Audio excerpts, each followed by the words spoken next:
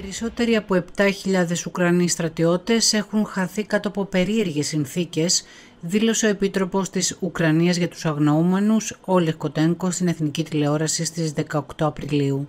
Είναι πραγματικότητα δυστυχώς αυτός ο αριθμός και ίσως είναι και πάνω από 7.000, είπε.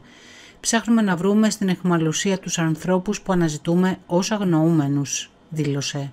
Στατιστικά περίπου το 60-65% των ανθρώπων που αγνοούνται είναι στην πραγματικότητα εχμάλωτοι, ενώ οι άλλοι θα μπορούσαν να έχουν πεθάνει, πρόσθεσε. Οι ανταλλαγές εχμαλώτων πολέμου μεταξύ Ρωσίας και Ουκρανίας καλύπτουν τόσο αυτούς των οποίων η εχμαλουσία έχει επιβεβαιωθεί όσο και αυτούς που αγνοούνται, ανέφερε το Αρχηγείο Συντονισμού.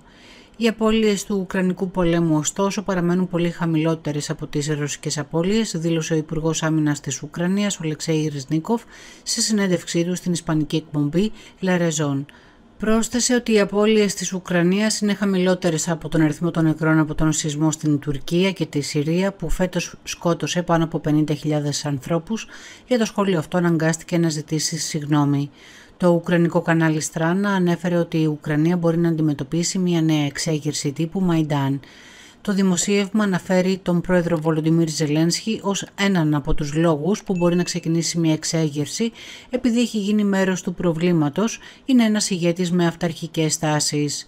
Αυτή η άποψη διαμορφώθηκε από τον συγγραφέα του άρθρου Τζέιμι Ντένμερ, ο οποίος επισκέφθηκε το Κίεβο και συνομίλησε με αρκετούς Ουκρανούς πολιτικούς ειδικότερα με την βουλευτή Ινα Σαυσούν από τον Κόλλο, η οποία υποψιάζεται ότι άλλο ένα πολιτικό πραξικόπημα βρίσκεται στο δρόμο, αφού το ορόσημο της δεκαετίας πλησιάζει όταν τίνουμε να οργανώνουμε επαναστάσεις. Το προηγούμενο Μαϊντάν ξεκίνησε τον Νοέμβριο του 2013.